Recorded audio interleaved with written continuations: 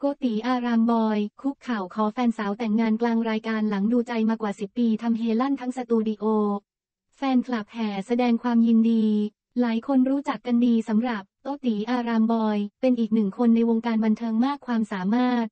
ก่อนหน้านี้โตติเคยคุกข่าวขอแฟนสาว คุณกวาง แต่งงานไกลถึงทะเลมาลดีฟแต่ก็เจอกับปัญหาหลายอย่างจนต้องเลื่อนงานออกไป แต่ล่าสุดโก๊ะตี๋ อารามบอยทำเซอร์ไพรส์คุกเข่าขอแฟนแต่งงานอีกครั้ง โดยทางด้าน คุณสินาพร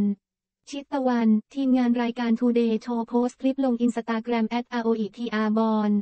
เป็นตอนที่โก๊ะตี๋คุกเข่ามอบช่อดอกไม้ให้กวาง พร้อมพูดความในใจ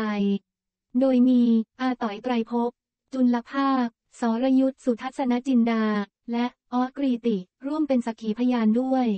โดยช่วงที่โกติคุกเข่าของสาวกวางแต่งงานได้กล่าวว่า ขอบคุณระยะเวลา10ปี ที่กวางอยู่เคียงข้างกันขอบคุณที่ให้โอกาส แม้ว่าจะผิดพลาดขอบคุณที่ตักเตือนสัญญาจะปรับปรุงตัว และจะทำให้ได้อย่างที่ฝันกวางไว้ แต่งงานกันครับ จากนั้นสาวกวางตอบรับว่า ค่ะทำเสียงเฮลั่นแสดงความยินดีทั้งสตูดิโอ